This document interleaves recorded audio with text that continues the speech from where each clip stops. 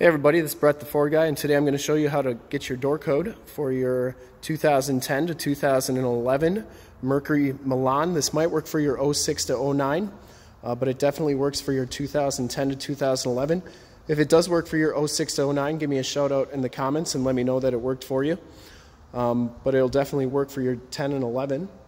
So what we're going to do is find the factory door code uh, right there, and uh, find out what the factory one is so that you can program your own door code or just be able to use the code that they have programmed into the vehicle. So all we're going to do is, is get a flashlight and a smartphone and we're going to go up underneath here and you're going to see that there's a sticker right there and all you're going to have to do is get your smartphone and get a flashlight and put it up there and you'll be able to read that sticker.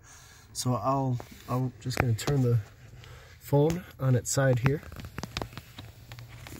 and there it is. It's that easy. Just record that and you'll be able to get your door code.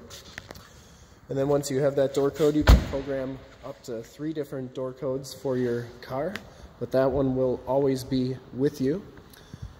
And to see how to program your own personal door code with that door code in the upper left hand part of the screen is a link to the video. I show you how to program your own door code.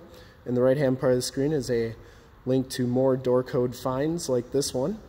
And uh, to subscribe to my YouTube channel in the lower left hand part of the screen is a button to subscribe there. Thanks again for checking out the video. Let me know in the comments if it worked for you and let me know if it worked for your 06 to 09. Thanks again and uh, good luck finding your door code for your 2011 and 2010 Mercury Milan.